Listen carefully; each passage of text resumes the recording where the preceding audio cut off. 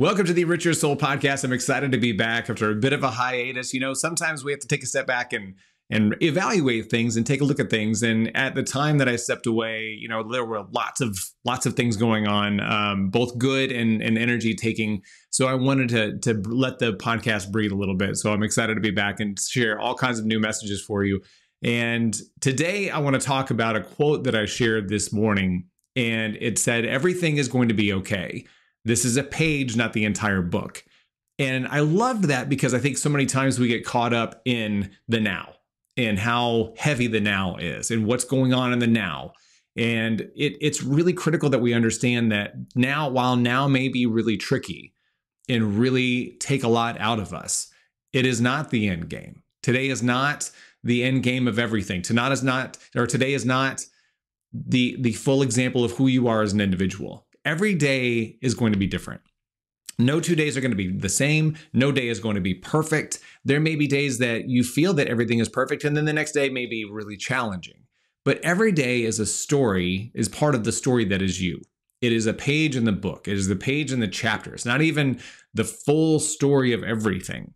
So when we think about those moments, how can we get past that? How can we move past the idea that right now is awful, and it's going to be forever because I've been in that mentality myself and it's awful. It, it sucks the energy, it sucks the life out of you. But when we realize, when we stop and check ourselves and understand that this isn't forever, that this isn't the permanent end of the story, that is when we take our power back. And so today I want to share a couple of examples of how you can do that and why it's so beneficial to each and every one of us to learn how to turn the page. So, the first thing to do when you start feeling that life has gotten too heavy is take a deep breath. Understand that this is temporary, that this pain, the struggle, the frustration is temporary, that something great is on the horizon. And I know it sounds cliche, but it, it is the it is a mental status and a mental change that works is that when you realize that this is all part of the journey you know, anything that's great to accomplish doesn't come with some struggle, doesn't come with a little bit of challenge, doesn't come with frustration. It all is part of it.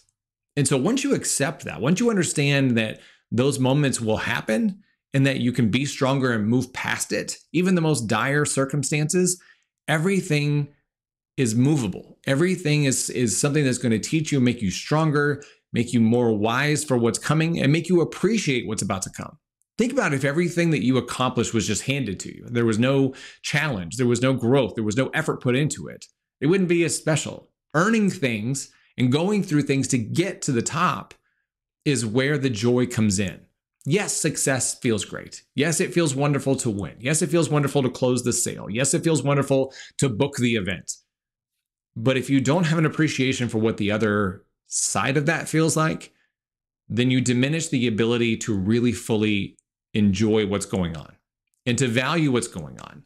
So it is important to go through these things. It is important to learn that you're going to survive, that you're going to grow, that you're going to be better and that so when you when you close that deal, when you host that event, when you hoist that trophy, when you do the thing that you're trying to accomplish, it's going to be that much sweeter when you do when you get there. The second thing you can do is find gratitude in something. Be grateful for something. I don't care how small it is, how big it is just be grateful for something. Because so many times when things are not going the way we want them to or when things get frustrating or when we we feel like we're running in place when you stop step back and be grateful for what you have and what is going on in your life and what little things are positive that makes everything else easier. And it's the little steps the little steps of gratitude help you get a foothold on climbing that mountain help you move forward and build the momentum to achieve the goal that you're going after if you just stand in place, frustrated, sad, angry, you know, th- those things, it's not going to help you move forward. Even the tiniest step of gratitude, even the tiniest step of positivity moves you in the right direction because you're not going to get anywhere standing still. You're just not.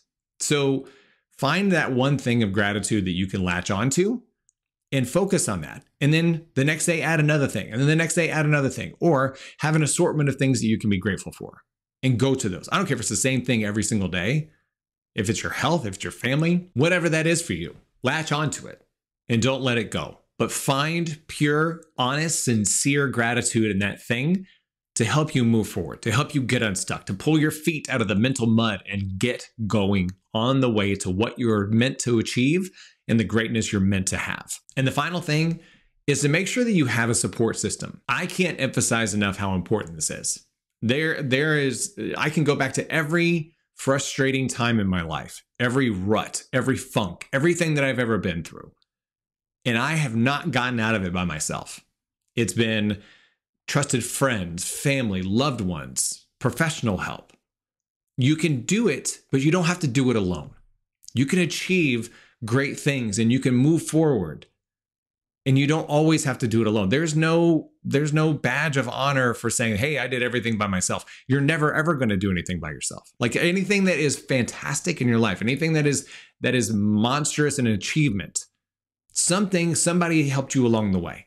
Whether it's a word of encouragement a note of positivity some insight on how you can do something a little bit better or different or some something that they've learned in the process of what you're trying to accomplish or frankly just the fact that you know that somebody loves you that somebody thinks of you that somebody is is is in admiration of you that is proud of you or that is just there. Sometimes we just need to know that somebody is there that if we turn to look at our corner after taking a beating in this round that there is somebody holding the bucket there's somebody holding the towel there's somebody ready to coach us into the next round.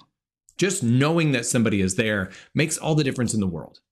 So who are those people? Who are those people for you I guarantee you, you have at least two or three people that you can go to at any given time. And that is worth its weight in gold because we all are going to need that help.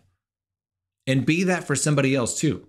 Make a pact. Seriously. Like it sounds somewhat almost like the only thing I can think of is Babysitter's Club, but it's not. It's not like the Babysitter's Club, but it is really all about having that pact with the other individuals by saying, hey, look, I got your back. I know you've got mine. I'm here for you whenever you need something. I'm here to help you through. I'm help you I'm here to help you achieve and to get out of the dark times. Just knowing that you have that is everything. So, make sure you're tying into these three things to stay focused on moving forward. Because again, whatever you're going through right now is a page, is two pages of the entire story of you. And once you move past that, once you turn those pages and look at the next chapter and look at the next storyline, look at the twist that's about to come, that things brighten up and that they get better, you will achieve greatness. I guarantee it. Because everything that you are going through is is preparing you for something great. And once you understand that, you take that power back. Once you understand that through your self management, you can check your emotions and say, hey, wait, I know I'm feeling frustrated, but I'm going to change the tune. I'm going to change the trajectory. I'm going to change the path. And here's how. Once you understand how to check yourself, everything else becomes easier. You stop that downward slide, you stop that rabbit hole of negativity, and you move back onto the path and you keep moving forward one step at a time. Thank you so much for tuning in. I'm so thankful. It so feels good to be back. It feels really, really good to be back. And so if there's something that I can help you with, if there is a topic that you're struggling with, if there's something that you need to hear, if there's uh, you know something that you just want me to chat about, let me know. Drop me a note, rich at richbracken.com. Uh, you can find me on social media at richbracken1 on Instagram and Twitter. But please hit me up. I want to be here to support you. This is a new angle on the podcast, and I'm just really excited to share as much positivity as I can. So please share this podcast with as many people as you can, because you never know who's going to need a little bit of enrichment and who's going to need to turn the page. Take care. Love you. We'll see you next time.